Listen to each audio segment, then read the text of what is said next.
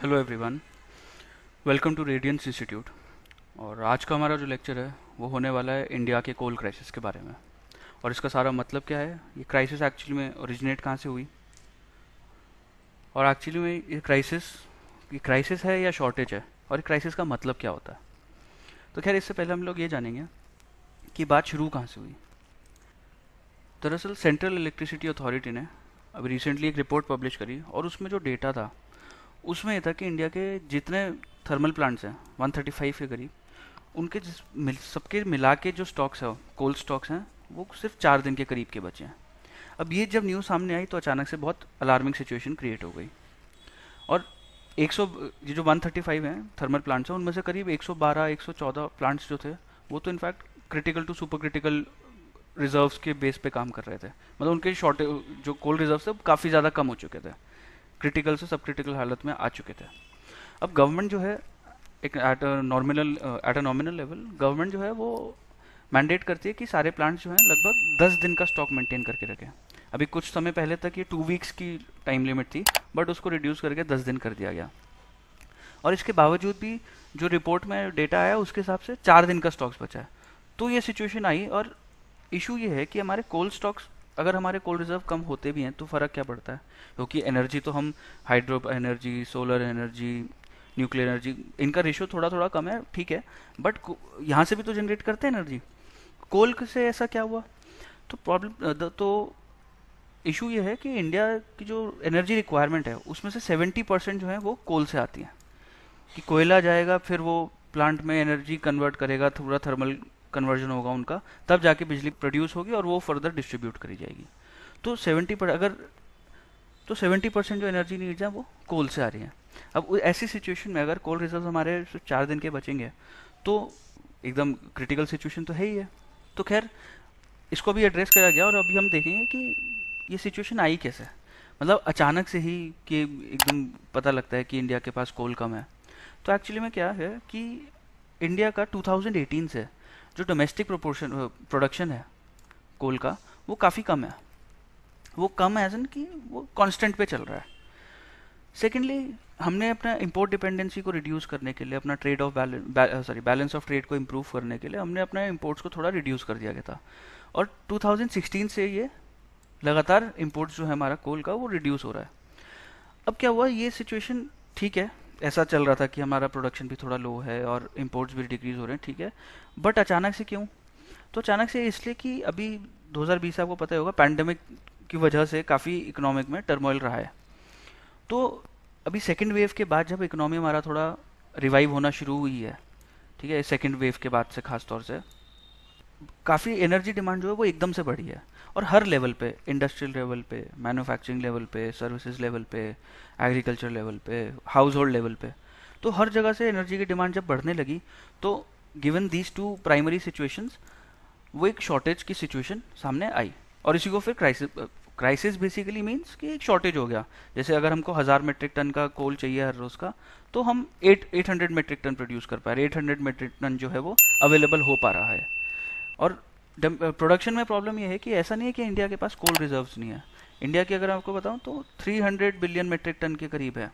और एक साल में हम लोग एक बिलियन मेट्रिक टन कंज्यूम करते हैं, अगर एक हम डेटा के हिसाब से चलें। तो ऐसा नहीं कि ख़त्म हो गया हमारा कोयला। कोयला बस उसका प्रोडक्शन और यूजेबल फॉर्म में आने में थोड़ा डिसरप्शन होने लग रहा है। अब चलिए, ये बात तो है ही कि प्रोडक्शन और इम्पोर्ट्स की वजह से और अचानक से एक सडन डिमांड बढ़ रही है। इसके साथ साथ बिकॉज़ ऑफ़ द पैंडमिक कुछ शॉर्ट टर्म इश्यूज़ आने लगे, जैसे ट्रांसपोर्ट के लेबर में, और कुछ वेदर इन्फ्लुएंस ये हुआ कि माइंस में फ्लडिंग होने लग गई। तो उस वजह से वहाँ पे जो लेबर है, वो जाके काम नहीं कर पाई, पानी भर गया पूरी खान में। तो ये सारी सिचुएशन एक के ऊपर एक एक के बाद एक ओवरलैप होने लगी। अब अगर हम पावर सेक्टर की बात करें, कोल का तो सिंपल है कि ठीक है प्रोडक्शन को थोड़ा ठीक करेंगे इंपोर्ट्स में थोड़ा डिफरेंस हो जाएगा। जैसे कि अभी कुछ स्टेप्स लिए हैं, वो हम आगे देखेंगे अगली स्लाइड में कि वे अहेड क्या है और स्टेप्स उठाए गए हैं। बट अगर हम एज अ पावर सेक्टर को कंसिडर करें, कि आपने देखा ही होगा कि डिस्कॉम्स वगैरह जो हैं, वो हमेशा लॉस में चल रहे हैं। तो इनके साथ कुछ स्ट्रक्चरल इश्यूज़ हैं, जिनको एड्रेस करने के लिए, जिनको एलिमिनेट करने के लिए हमें स्ट्रक्चरल रिफॉर्म्स की ज़रूरत पड़ेगी with in the power sector अभी सीन ये है कि जब भी इलेक्शंस होते हैं, किसी स्टेट इलेक्शन होता है सेंट्रल इलेक्शन होता है तो पावर भी एक जो है, काफ़ी डिस्कस्ड सब्जेक्ट हो जाता है। तो कुछ पॉपुलिस्ट मेजर्स अडॉप्ट किए जाते हैं पॉलिटिकल लेवल पे, जो कहते हैं कि इलेक्ट्रिसिटी हम लोग सब्सिडाइज रेट पे देंगे। इनफैक्ट कई बार तो ये होता है कि इतने यूनिट्स इलेक्ट्रिसिटी हम लोग फ्री में देंगे। अब देखिए, अगर इसके आप समझना चाहें, मान मान लीजिए कि एक यूनिट इलेक्ट्रिसिटी प्रोड्यूस करने में हमको दस रुपये लगते हैं, ठीक है? अब अगर फ्री में दिया तो ज़ीरो रुपीज़ में कंज्यूम हो गई है। मतलब जो यूज़ कर रहा है इसको कंज्यूमर जो, उसने ज़ीरो रुपये पे करे। सब्सिडाइज किया तो मान लीजिए कि छः रुपये पे करे। ठीक है? अब ये कस्टमर की जेब से तो इतना रुपया गया है सब्सिडाइज या जो भी। बट इसको प्रोड्यूस होने में तो दस रुपये लगे। वो दस रुपये कौन भरेगा? और ये सारा जो पैसा है, ये डिस्कॉम के पास आके रुक जाता है। और डिस्कॉम डिस्कॉम्स होते हैं डिस्ट्रीब्यूशन कंपनीज़ जो पावर जो उनके पास आती है, उसको फर्दर डिस्ट्रीब्यूट करने का पूरा उसका लॉजिस्टिक्स वो लोग संभालते हैं। और वो पावर जो आती है, उसको जनरेट हुई कोल के थ्रू और वो कोल प्रोवाइड किया कोल इंडिया लिमिटेड ने। तो ये पूरी चेन जो है, ये डेवलप हो जाती है और सारे के सारे डेट में आना शुरू हो जाते हैं। कोल इंडिया लिमिटेड जब पैसे माँगता है कोल इंडिया लिमिटेड को पैसे लेने होते हैं डिस्कॉम्स के पास से। डिस्कॉम्स को पैसे लेने होते हैं कंज्यूमर के पास से। कंज्यूमर को तो सब्सिडाइज इलेक्ट्रिसिटी मिल चुकी है। तो डिस्कॉम जो है कोल इंडिया लिमिटेड को पैसे नहीं दे पाता। तो दोनों डिस्कॉम्स भी और सीआईएल भी, ये दोनों डेट में चल रहे होते हैं। तो ऐसे एक ये चेन ऑफ़ इवेंट्स शुरू हो जाती है, जिसका एंड आसपास में नहीं दिखता। तो hence we need structural reforms in fact कुछ डेटा था, जिसके हिसाब से ये था कि जो डिस्कॉम्स रेवेन्यू जनरेट करते हैं that is only seventy percent of their production cost तो अभी आप लगातार कुछ सालों में, महीनों में अगर आप कवर करेंगे इसको तो अब देखिए कितना ज़्यादा डेट उनके ऊपर इकट्ठी हो जाती है। अब गिवन दिस पॉलिटिकल इन्फ्लुएंस और डिस्कॉम्स का प्रेजेंट कंडीशन और in fact coal India limit की भी तो क्या होता है कि प्राइवेट इन्वेस्टमेंट ना आती नहीं है फिर पावर सेक्टर में। और इनफैक्ट आई भी नहीं है ज़्यादा, काफ़ी ज़्यादा, जबकि गवर्नमेंट ने काफ़ी स्टेप्स उठाए हैं कि डिस्ट्रीब्यूशन कंपनीज़ को दे दिया जाए और वो प्राइवेटाइज किया जाए। मतलब एटलीस्ट कुछ हिस्सा जो है पूरे पावर सेक्टर का डिस्ट्रीब्यूशन वगैरह प्राइवेट्स देख लें। बट ज़्यादा प्राइवेट्स वाले इधर आते नहीं, क्योंकि ये एक ऐसा सेक्टर है जहाँ पे प्रॉफिट्स आने, बनना काफ़ी टाइम ले सकता है।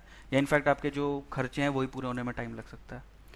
तो इसलिए प्राइवेट इन्वेस्टमेंट नहीं आती, जो कि काफ़ी ज़्यादा इंपॉर्टेंट है for economic growth economic development poverty alleviation all that क्योंकि आपने देखा होगा कि कोई भी सेक्टर अगर लिबरलाइज किया जाता है, जहाँ पे चाहते हैं कि प्रॉफिट्स बढ़ें उस सेक्टर में प्राइवेटाइजेशन अलाउ कर दिया जाता है। तो पावर सेक्टर में भी कर देना चाहिए but for some various reasons वो नहीं हुआ। खैर, फ़िलहाल अपने आप को टॉपिक के आसपास पे रखते हुए, आप देख नोटिस करा होगा आपने कि जितने जो मेजर कंपनीज़ हैं पावर सेक्टर में, वो पब्लिक सेक्टर कंपनीज़ हैं। और पब्लिक सेक्टर कंपनी जो होती है they are not profit driven profit driven तो इनके और भी ज़्यादा बुरी सिचुएशन है। तो इनके लॉसेज माउंट होते रहते हैं या प्रॉफिट्स रिड्यूस होते रहते हैं। बट एक फुल प्रूफ सोल्यूशन नहीं हो पाता इस चीज़ का given that political interference and everything तो इस सब के चलते एक फाइनेंशियल इंसेंटिव की कमी है पावर सेक्टर में, जिसको एड्रेस करना काफ़ी ज़्यादा ज़रूरी है। इकरा जो क्रेडिट रेटिंग एजेंसी है इंडिया की, उसने एक रिपोर्ट निकाली थी कुछ समय पहले। उसमें उन्होंने बताया था कि जितनी भी डिस्कॉम्स हैं इंडिया में प्राइवेट पब्लिक सेक्टर की, उनके ऊपर ओवरऑल डेट जो है डेट जो है वो सिक्स ट्रिलियन डॉलर्स की हो सॉरी सिक्स ट्रिलियन रुपीज़ की हो जाएगी by the end of this fiscal year 2021-22 six trillion rupees का मतलब छः लाख करोड़ रुपए। तो काफ़ी बहुत बड़ा अमाउंट हमारा बस डेट में ही फंसा हुआ है जिसको रोटेट करना इकोनॉमी में रिवॉल्व करना बहुत ज़्यादा इंपॉर्टेंट है और उसका भी कोई फुल प्रूफ सोल्यूशन नहीं निकल पाया है।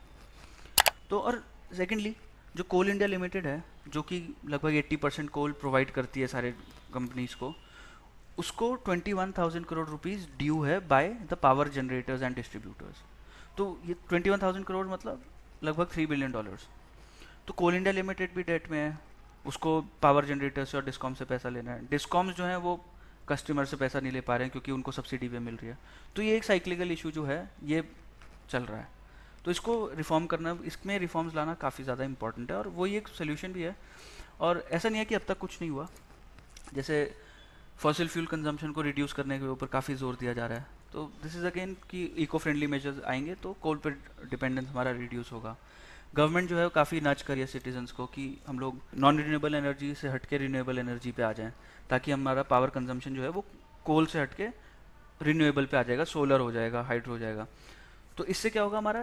कोल पे डिपेंडेंस कम हो जाएगी। तो ये जो सिचुएशन आई है कि अचानक से हमारे कोल रिजर्व्स कम हो गए हैं, ऐसी सिचुएशन इन नियर फ्यूचर आना, ऐसे चांसेस काफ़ी रिड्यूस हो जाएँगे। और गवर्नमेंट ने ये भी अलाउ किया था कि जो कोल हम इम्पोर्ट करते हैं मोस्टली वो काफ़ी हाई क्वालिटी का होता है एंथ्रासाइड टाइप का, उसको हम थोड़ा ब्लेंड कर सके डोमेस्टिक कोल के साथ, ताकि उसका यूजेज काफ़ी ज़्यादा, जो कोल का यूजेज है वो काफ़ी एफिशिएंट और इफ़ेक्टिव हो जाए, और ऐसी डायर सिचुएशन अचानक से एकदम से ना खड़ी हो। और इनफैक्ट अभी कुछ समय पहले अगर आपने ध्यान दिया हो तो एमएमडीआर एक्ट को mines and minerals data regulation act को अमेंड किया गया था ताकि कैप्टिव माइनिंग को ख़त्म किया जा सके और फिर जो माइन किया जाएगा उसको अदर पर्पसेस के लिए भी बेचा जा सकेगा यूज़ किया जा सकेगा। तो that was again for better use of coal better and efficient use of coal तो क्योंकि मैंने जैसे आपको बताया कि इंडिया के पास कोल रिजर्व्स की कमी नहीं है, बस उसका प्रोडक्शन की और यूजेज की थोड़ा सप्लाई चेन इन सब का प्रॉब्लम्स है। तो इनको एड्रेस करना ज़रूरी है और एम एक्ट को अमेंड करना was a step in that direction और एक मेजर चीज़ जो खैर स्लाइड में नहीं होना चाहिए था बट आपको मैं समझाना चाहूँगा कि मार्केट फोर्सेस को क्यों हम अलाउ नहीं करते डिटर्मिन करना? क्योंकि पावर कंजम्पशन जो है वो इकोनॉमिक के ग्रोथ के लिए डेवलपमेंट के लिए किसी किसी सिचुएशन में इकोनॉमी के रिवाइवल तक के लिए, हमारा पावर का एक अफोर्डेबल लेवल पे रहना काफ़ी इंपॉर्टेंट होता है। जैसे फ्यूल को मार्केट फोर्सेस के ऊपर छोड़ दिया गया तो काफ़ी हम देख रहे हैं उसमें काफ़ी फ्लक्चुएशंस रहती हैं। तो पावर के साथ ये अफोर्ड नहीं किया जा सकता। और गिवन दैट कि इंडिया एक इमर्जिंग इकोनॉमी है और पीपीपी के हिसाब से it is the third largest economy मतलब I mean before the pandemic it was top five में वो काफ़ी समलों से है और इकोनॉमिक पोटेंशियल काफ़ी ज़्यादा हाई है। तो हम पावर सेक्टर में मार्केट फोर्सेस को एकदम वो नहीं कर सकते कि फुल लिबर्टी दे दें।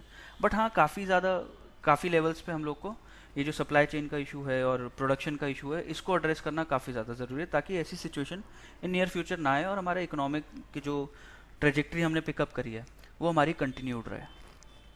तो ये था इसके बारे में कि कोल क्राइसिस एक्चुअली में एक शॉर्टेज है। इट इज़ नॉट कि इंडिया के कोल रिजर्व्स ख़त्म हो गए हैं।